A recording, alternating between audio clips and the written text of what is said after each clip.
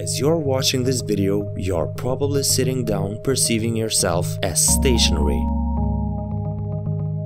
I don't blame you, but we are definitely not stationary.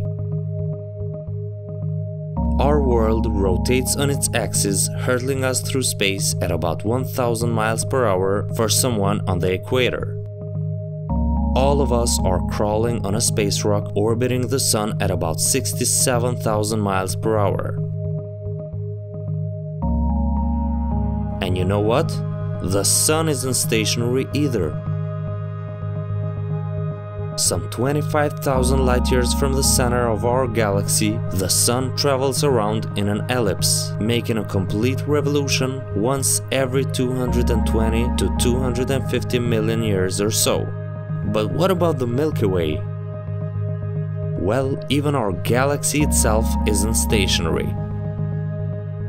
Instead, it is being pulled by all the other galaxies, groups and clusters in our neighborhood. The nearest and most massive objects around are going to dominate our motion. This means all of the nearby galaxies are going to experience a bulk flow due to this gravitational force. Feeling dizzy yet?